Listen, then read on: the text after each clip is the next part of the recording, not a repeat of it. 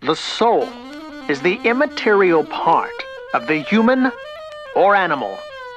It is emotional or intellectual energy.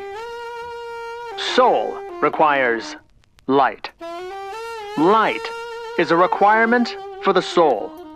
Without you, soul becomes the Latin sol, meaning sun. Sol, meaning ultimate light, meaning ultimate light, meaning ultimate light. The supreme star, around which the earth dances in circles. Unless, of course, you're a flat earther. Eventually, the soul requires or desires a mate. The soul goes in search of a mate in intellect, a mate in intellect, a mate in intellect.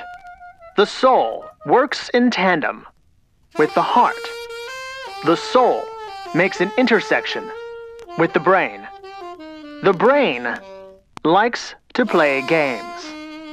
The soul likes to watch.